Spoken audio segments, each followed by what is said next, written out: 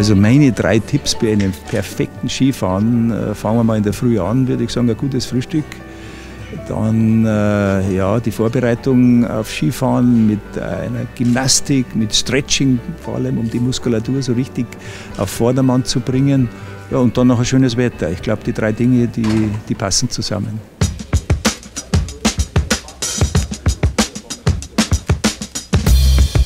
Die Christa Kinshofer Skiklinik zeichnet sich aus dadurch, dass sie einen Service bietet für Skifahrer, die akut verletzt sind und letztendlich 24 Stunden um die Uhr erreichbar ist und somit die Sorgen und Nöte der alpinen Skifahrer direkt wahrnehmen kann.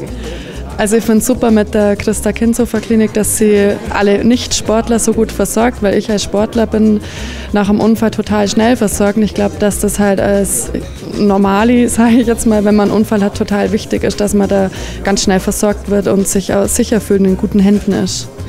Die Neuerfindung für den Leistungssport, einen Airbag jetzt einzuführen, ist eigentlich eine ganz eine sinnvolle Sache.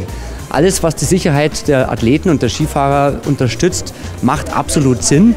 Hoffentlich kann dieses Schutztool auch in den Freizeitsport übergeleitet werden. Da bin ich mal gespannt. Als Sportler hat man ein Kapital, das ist der Körper. Und wenn der nicht mehr funktioniert, dann kann man einfach nicht mehr weitermachen. Und da ist es ganz wichtig, zu den Besten zu gehen.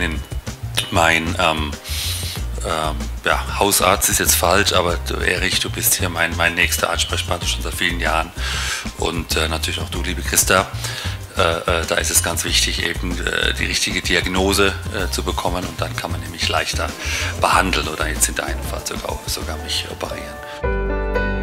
Es war super gut von den Referenten präsentiert, allgemeinverständlich für jedermann. Das hat mich sehr gut gefreut.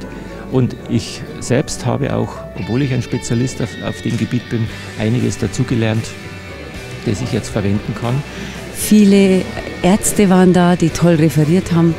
Nach dem Winteropening ist vor dem Winteropening und ich würde mich freuen, wenn wir im nächsten Jahr wieder zusammen sind.